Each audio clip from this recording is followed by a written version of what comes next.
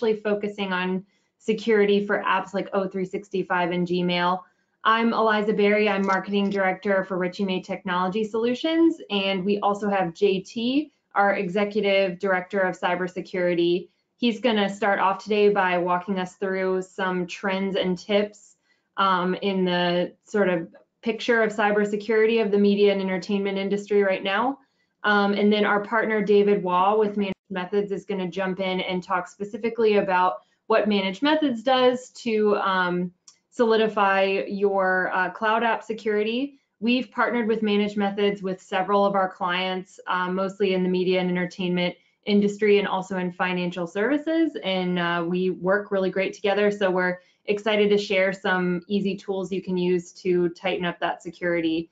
Um, as usual on most of these things, uh, all the participants are going to be on mute. So if you have any questions, make sure to ask them in the chat. Um, Elisa and I uh, will be looking through those chat questions and we'll either pop them in at the end or if they're relevant to what we're talking about during the presentation, we'll pop up and ask those for you. Um, there's also a survey after the webinar. It's really easy, just two yes or no questions. So make sure to answer that um, those questions when it pops up. It helps us improve our webinars in the future. And then we also will send an email with the presentation materials and a recording that you can access to this webinar too. So um, if you miss a point or you want to go back and watch the short demo again, then um, you can go ahead and do that. So without further ado, I'll hand it over to JT so that he can talk about the trends. All right, well, thank you, and welcome everybody to our, our webinar today. so on today's agenda, I wanted to give a, a little overview around uh, who Richey May is. You may or may not have heard of us, uh, as well as just what uh, was going on in the uh, media entertainment space around content protection and some of the trends we're seeing around cybersecurity and as she mentioned, we're going to pass, pass it off to David, and he's going to let you know a little bit about managed methods and, and the tool set there. So a little bit about Richey May. So we've actually been in business since 1985, and we're a uh, focused uh, business advisory and consulting firm uh, with, with offices in Los Angeles and Denver, Colorado. And uh, in the technology solutions group, we're focused on a number of different areas um, the parts that we're going to talk about and touch on today are around cybersecurity and, and cloud services. Uh, many of our clients are looking on how they can move their content workflows and create more of a variable cost, variable predictable cost model within their businesses and their productions uh, through the use of, of cloud and cloud services.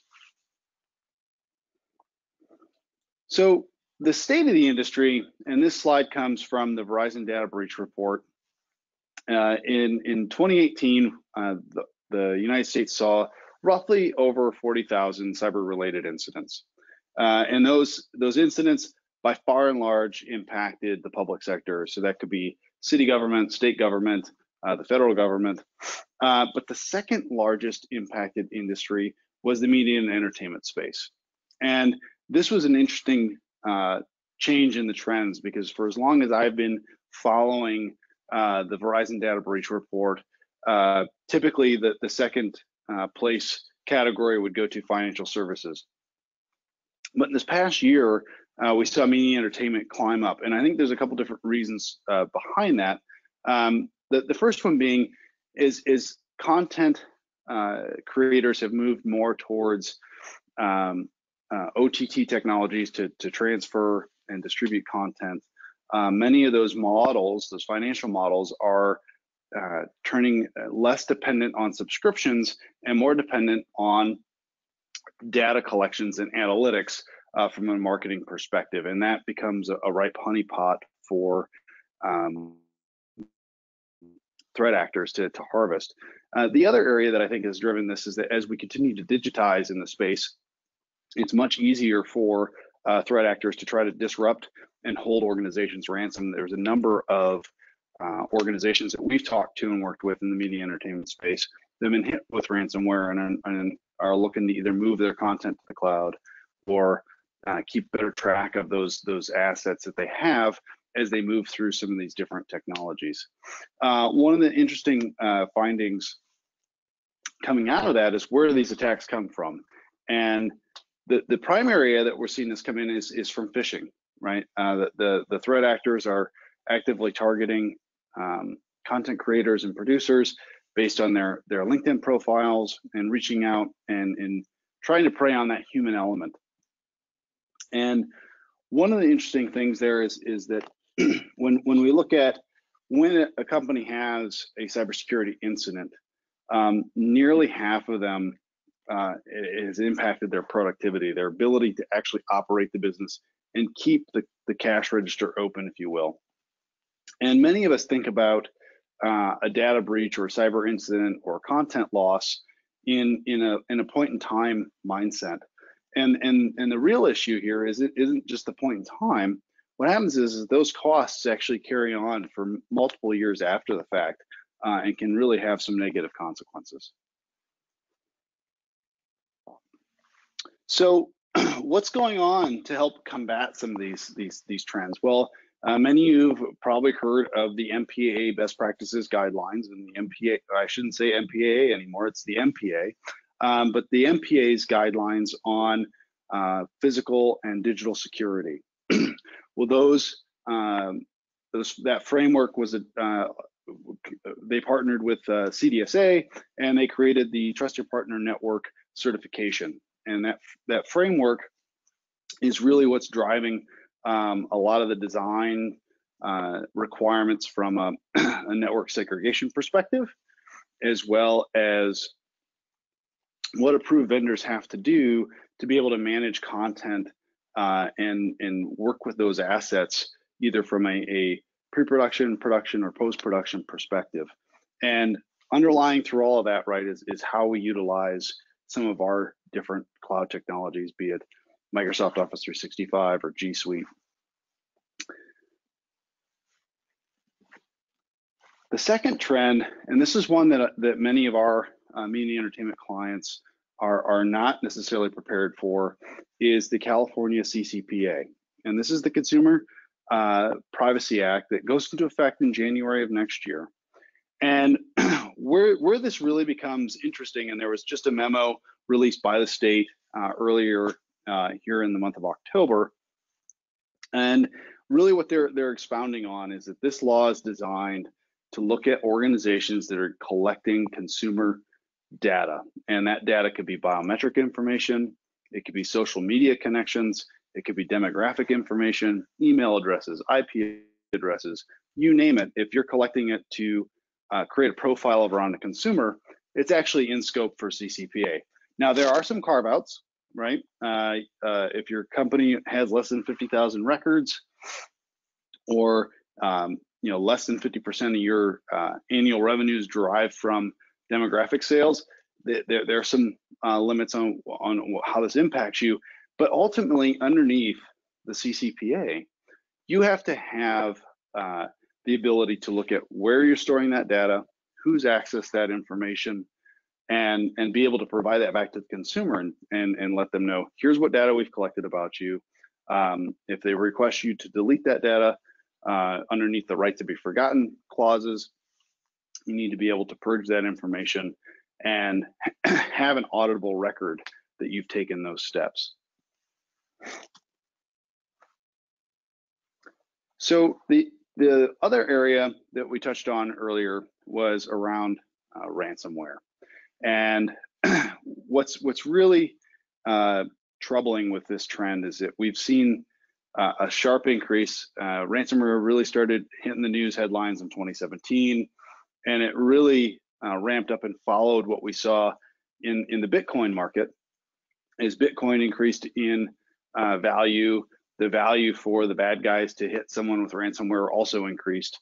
And then as that that cryptocurrency market kind of bottomed out in uh, late 2017, early 2018, we saw the trend kind of move away a little bit from ransomware, uh, but year over year, so from uh, 2018 into 2019, there's some some recent uh, findings that came out that that showed a, a, a nearly 77% increase in ransomware from from the year prior to today.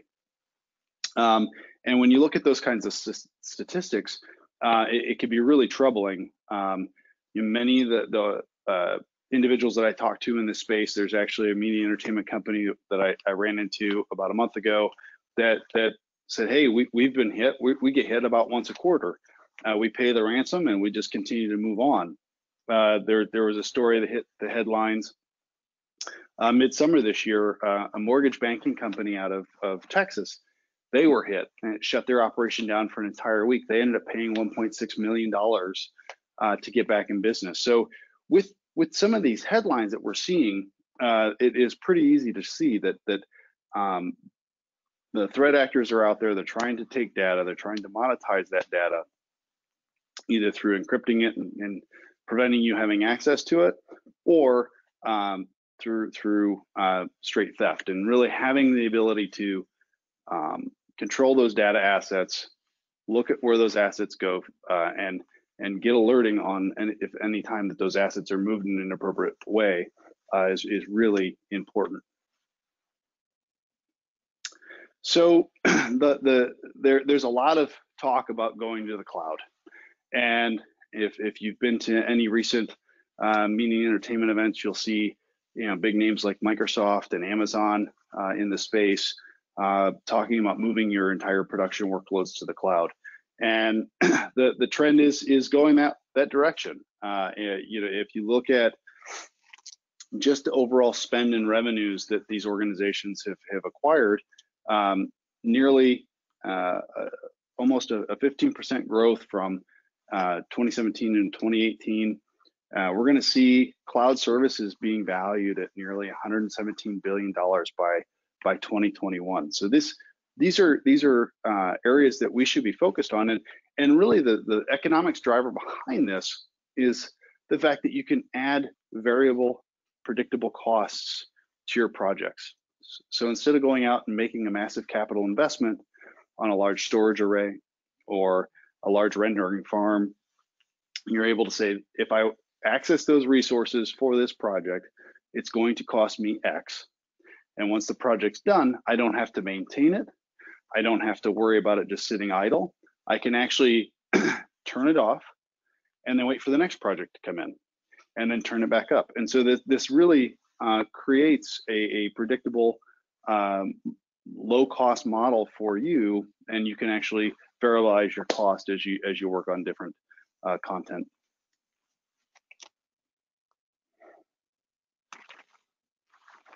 So with that, I'd like to turn it over to David and let him talk a little bit about uh, who Managed Methods is and what their solution provides from a, a visibility and control perspective uh, around content and assets uh, in the cloud.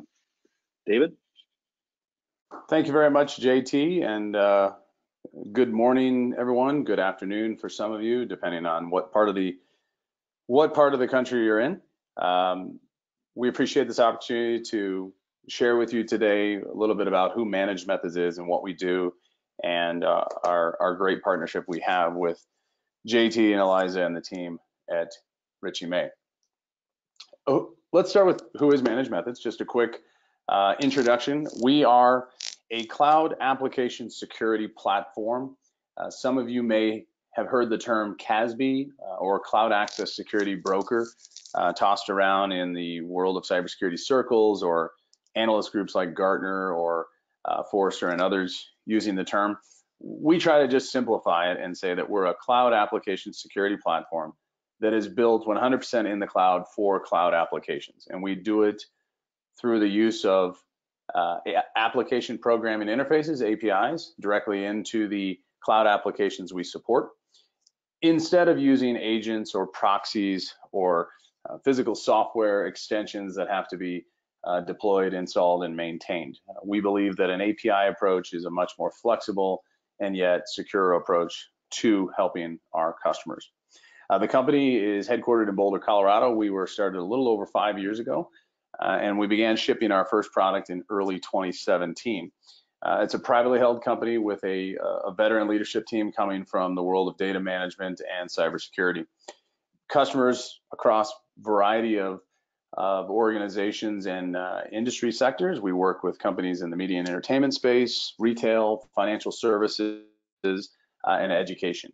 Really, any organization out there using cloud-based applications for their fundamental email and file sharing capabilities, we can help support with. And we've been we've been doing that in tandem with the team at Richey May uh, since the spring of 2018.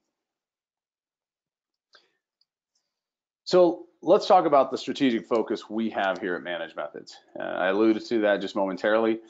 We are focused on securing the two most widely used cloud-based email and file sharing uh, platforms in the world, and that is Microsoft's Office 365 environment in the cloud, which would be Exchange Online email, OneDrive for file sharing, and SharePoint for file sharing and collaboration.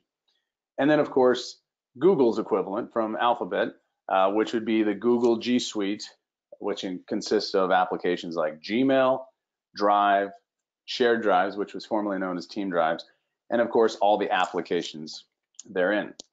These are the two most dominating SaaS productivity apps used worldwide in business today. Um, Google has made significant strides in the last uh, five years, really coming on strong in the past 18 months. Part of that has to do with leadership changes now that Alphabet has brought in uh, former Oracle executive Thomas Kurian to lead the charge for Google Cloud Platform.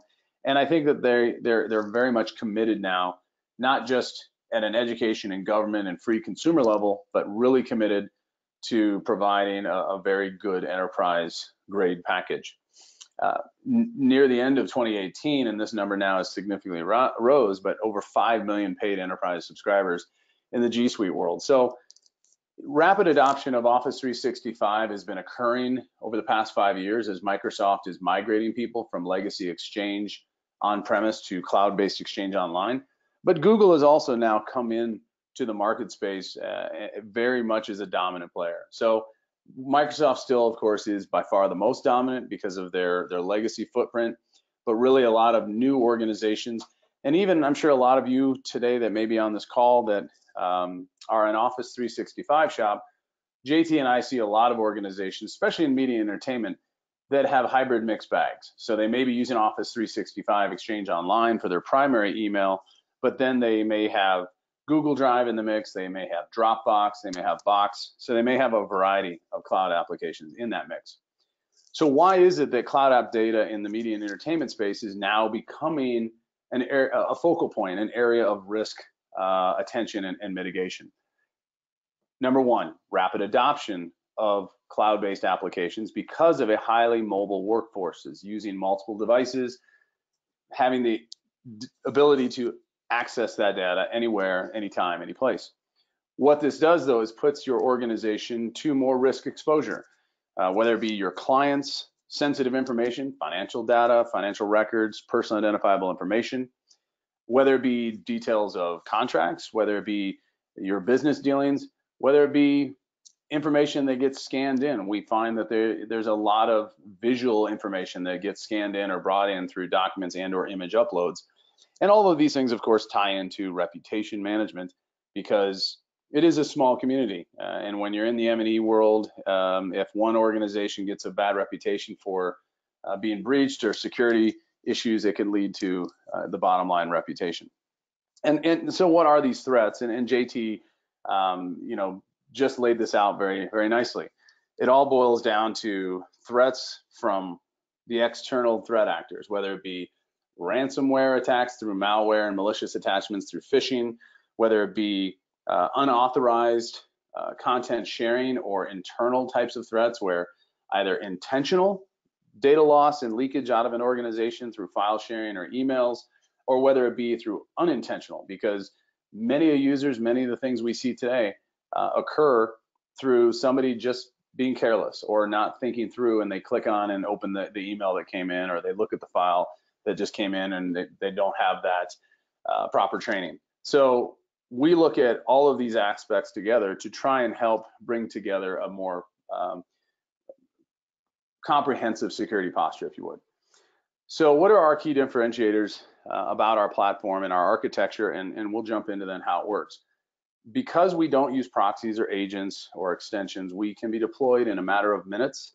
Uh, in many cases, we can activate uh, a cloud connection with our customer's account in 10 minutes or less, and you begin to get immediate visibility and control into your Google G Suite or Office 365 or Slack or Box environment.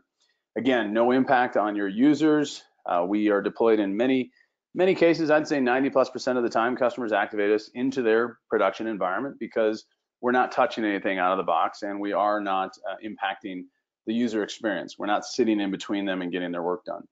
And that's because of the architecture. And we were the first recognized uh, CASB vendor in the industry to support cloud-based email, such as Gmail and Office 365 Exchange Mail, um, outside of just traditional file sharing. So because of these things, we have a very, very quick uh, value return because customers can see it immediately, begin to take control immediately, and it's, it's a very quick return on the investment. So how does this work?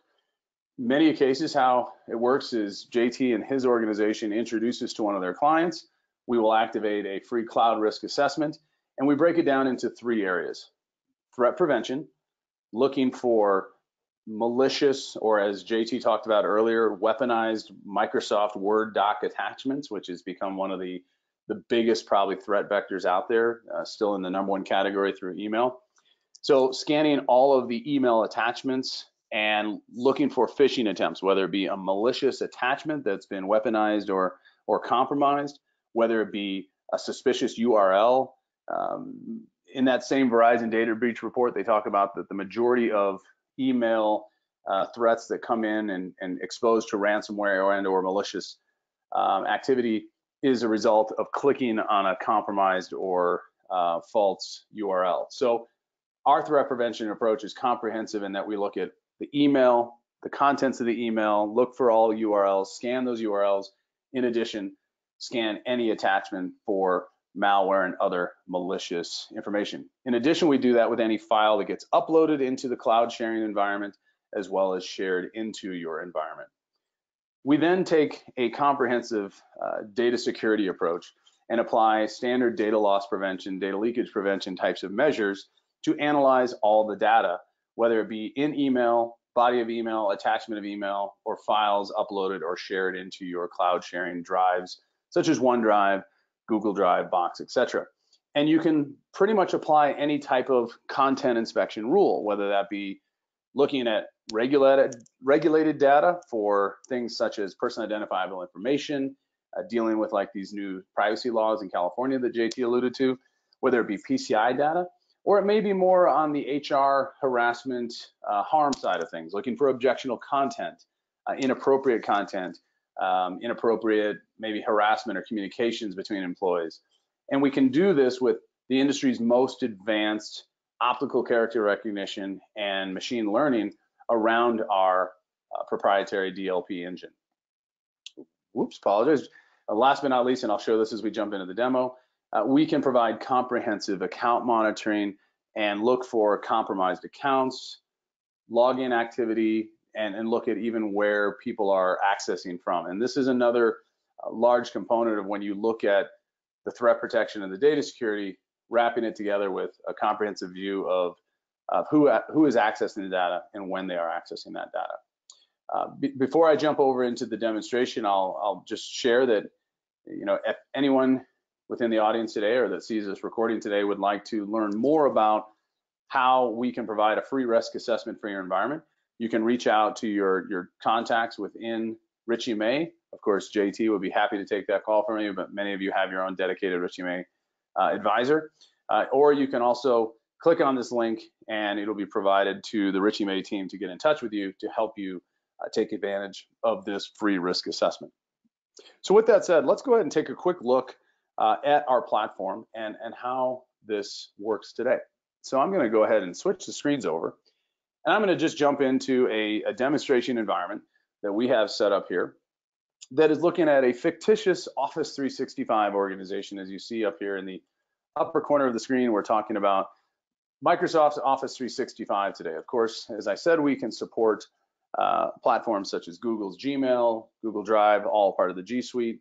We can support Box, Dropbox, Slack, and other popular uh, applications used for file sharing and collaboration. So if we start today and we look at just, let's look at a couple simple use cases that we just talked about. Let's start with threats. Here at the high level dashboard, we give you a summary of all the activity in your environment. But what I'd like to do is come over here and look at the, the side over here, the email summary, and we're gonna look at diff different types of threats. So specifically, within this last time frame we're looking at, we've had three phishing attempts. So with that, I will click on that link for three phishing attempts. And if you'll notice, it's brought me to our emails tab in which we are looking uh, at the Office 365 Exchange Online email and boxes. So here we have done a predefined filter that's looked uh, for phishing attempts in this defined time frame. It's filtered out. You see we have three in the environment and they are labeled as such.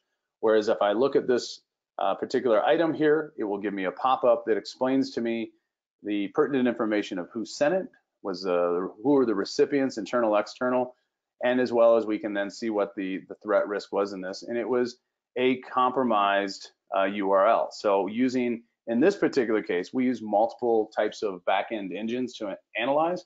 This was coming through the Google Safe Browsing, which is now known as WebRisk uh, from Google, to analyze this particular known URL that is a bad actor.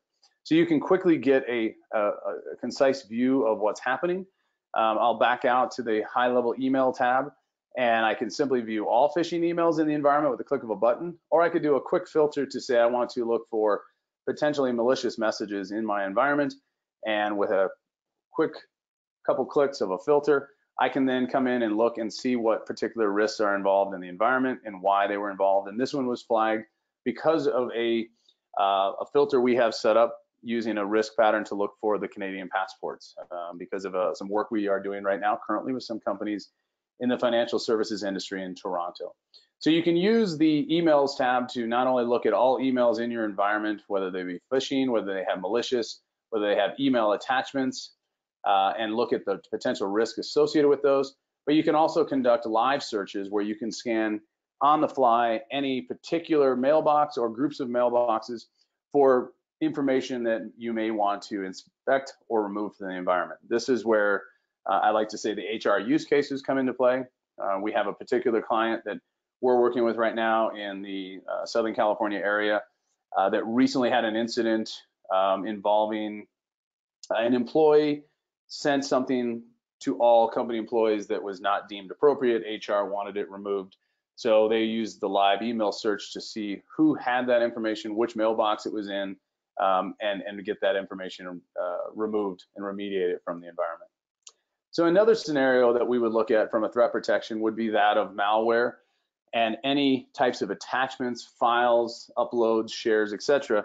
And we scan them through several third-party industry uh, malware engines to analyze them for potential malicious, uh, suspicious, other types of things. And you would be provided a threat score, full report uh, on that information, and then the ability to take action on a particular item by either deleting it from this environment or quarantining it.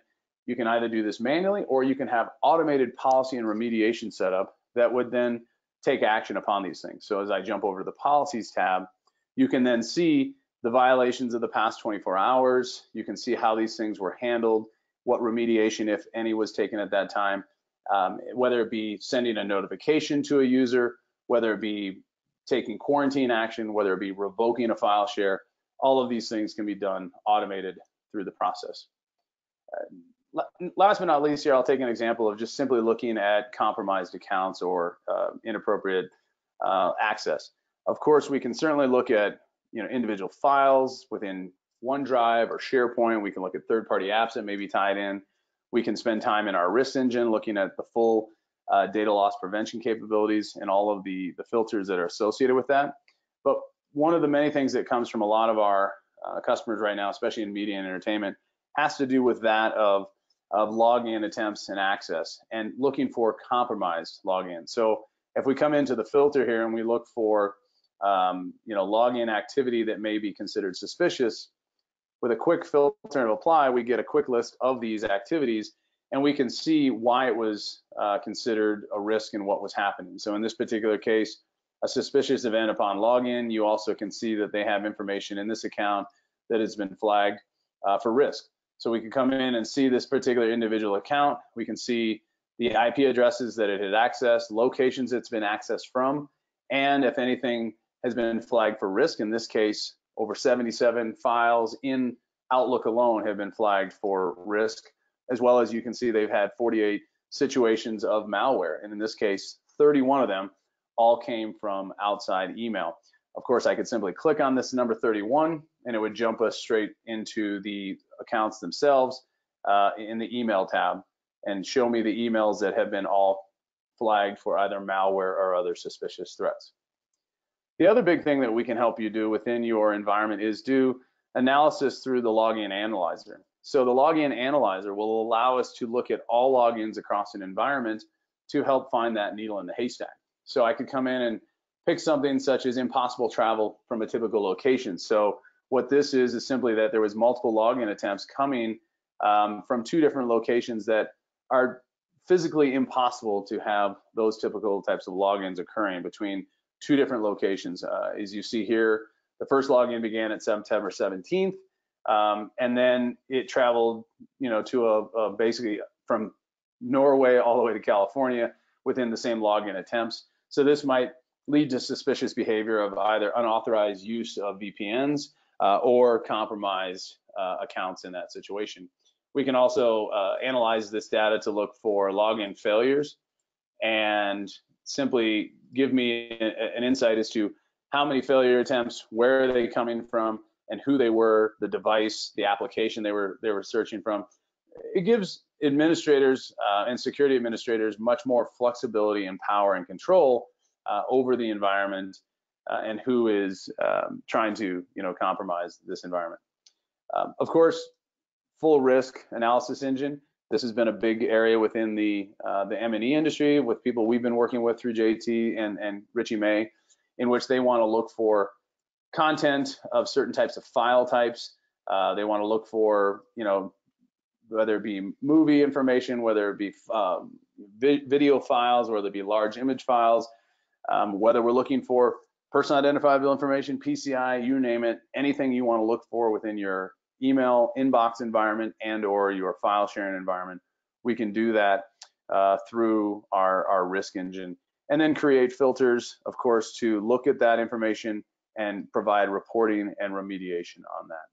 So the goal of managed methods is to help give great visibility and control within your say in this case, Microsoft Office 365 environment, OneDrive, and SharePoint to give you the ability to prevent threats, whether it be malware, phishing attempts, things that lead to ransomware, prevent data loss, whether it be intentional or accidental data loss, and to analyze account access and usage behavior. How are files in your environment being accessed or shared shared to outside an organization, uh, shared from the outside in, which is sometimes a, uh, a ticking time bomb waiting for somebody to click and open it, and finding out why, you know, why are things happening the way they are, giving greater visibility and control above and beyond what you may get from either your native uh, Microsoft or Google licensing security levels, or to give you an alternative to the more advanced licensing options that Microsoft and Google may provide at a more robust feature functionality and at a lower cost. With that said, I'm going to turn the turn it back over to our, our moderator. And if there is any questions from anyone in the audience, or if you'd like to learn more, please contact Richey May and JT and his team at Richey May Technology Solutions We'll be happy to help you out. Thank you, David. Um, so again, thank you for everyone who came out and we'll just give you a couple of minutes to type any questions in the chat or actually in the questions box. I'm also looking at that. Um, and if we don't get any within the next couple of minutes, um, as David said, feel free to email any of us. Um, info at richeymay.com will get any of those questions to us and um, we will get back to you as soon as we can um, with those. So again, thank you and make sure to participate in the poll after the uh, webinar and to look out for that email with the uh, recording and slides. Feel free to forward that around to um, in, inside your company to anyone who might benefit from this presentation also and be sure to look out for invitations to future webinars with us and from Managed Methods. So thank you again for attending and we'll see you next time.